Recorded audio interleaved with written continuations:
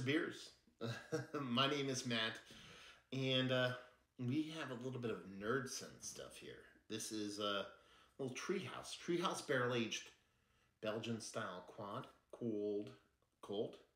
That's weird. Way you said that. Normand. Um, yeah, I don't know where this beer comes from. Okay, it comes from Sean from Nerd Sense. I sent him a box of beer. He sent a, a box of beer back. I unboxed it. This beer was there. That's simple. Um, I don't know the impetus of this beer and where this beer comes from. The reason why I say that is uh, about a year previous. I'm thinking maybe a little bit less. Steven. We all know Steven. He's very much in the beer tubing community. Sends a bunch of beers to a bunch of different people. He sent me Treehouse's Armand, I believe is what it was called, instead of Normand. Um, and that was their Belgian quad, their version of their Belgian quad, non barrel aged. And I reviewed it, and I thought it was tasty as a beer, but it was really kind of weird. Didn't really come off as like a Belgian style quad to me. It was like kind of weirdly spiced as far as I was concerned, like almost like Jägermeister like Ricola kind of spiced. And um, and while I I enjoyed it, it wasn't really like a Belgian quad for me. I get this from Sean, and I, when I'm doing the unboxing, I'm like, I think I might have had this or something like it. And Steven clarified or cleared that up and said, oh, okay, you had that Armand thing.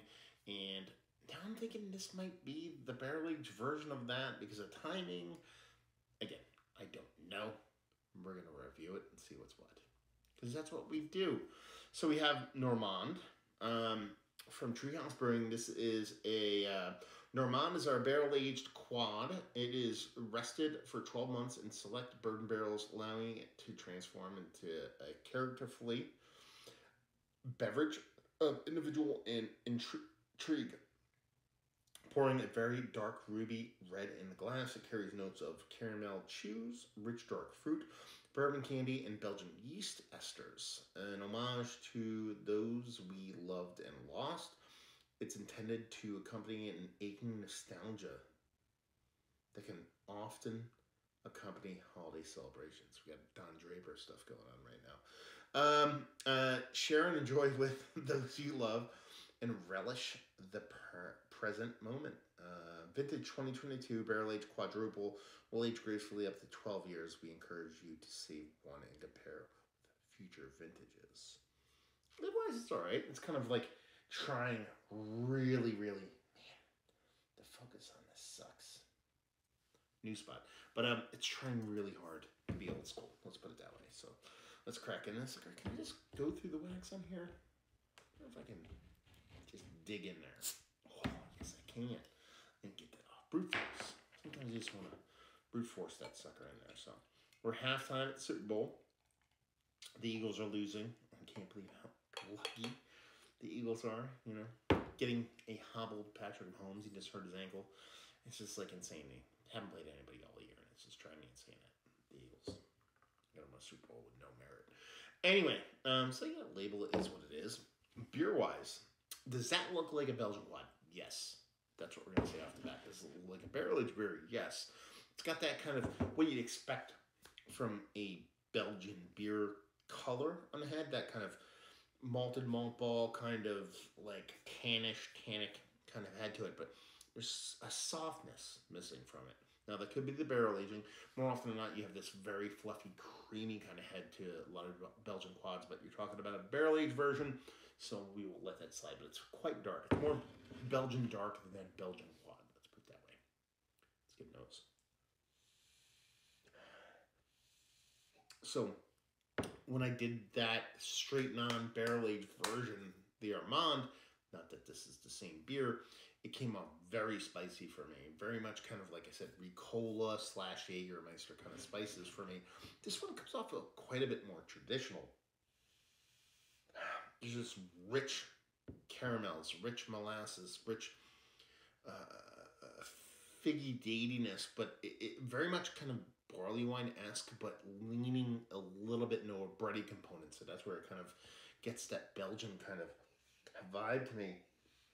And has that sweetness that you tend to get from that beet sugar, that uh, that uh, Belgian candied sugar, and that it has a sweetness that's a little bit more kind of like sharp than a straight malt derived kind of sweetness. It actually smells really great. There is a like a hefty barrel aging component to it, but it doesn't come off as like a booziness or a bigness or anything like that. It comes off as more of a, a fattening, like a widerness, a richness, a wider berth of the beer, as opposed to just being like this is going to be huge and impactful. It comes off as like, oh, this beer has become more, for lack of a better term, wider, fatter, richer, denser, darker, those kind of things. So it has a lot of different kind of like DNA to it. Barley wine, stout, quad, barrel. But this is quite a bit closer to what I personally would like associate a barrel aged quad with, as opposed to just a barrel aged beer with. I'm just gonna dive in. Cheers, y'all.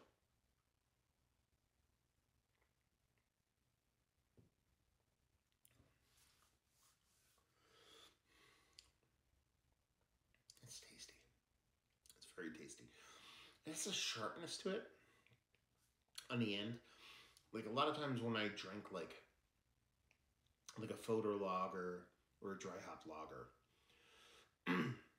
I usually talk about this like it lacks this snappiness, that that that um that crispiness that everybody talks about when it comes to a lager, but it finishes quick. No, it, it lacks that ultra snappiness, but but in the end, you can kind of you, you can tell you can kind of tell it's a lager because it finishes real quick. This is like the opposite of that.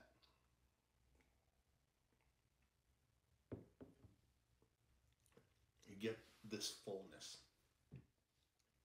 Sorry, my camera acted up there, but we caught it right when it happened. So, um, but it, it like it has the opposite going on. It has this richness,